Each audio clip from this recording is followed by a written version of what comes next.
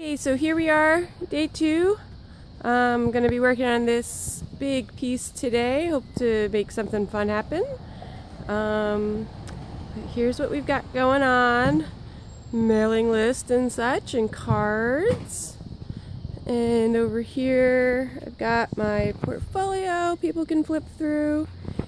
And some super fun necklaces that I'm also selling at Rabbit Rabbit Boutique here in Hammondsport.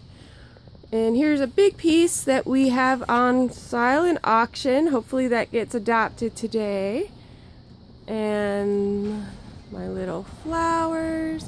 And pineapple. I love painting pineapples recently. And this fun, beautiful one, its sister got adopted yesterday. Super happy about that. And here are some suitcases I'm using to display some smaller pieces. Super good sign. Thank you, Amelia, on my cupcakes and uh, some of my littles. And my, the twins are still here. This one I'm still working on. Hopefully I'll come up with an idea for that. And let's see. And bunnies, the disapproving bunnies.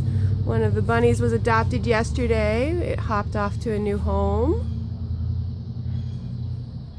And my kind of my only cityscape piece. And here's this beautiful one. I love her. And uh, that's that. And uh, thanks for coming to hang out in my tent. This is Filomena. Uh, hope you're having an arty day. Cheers.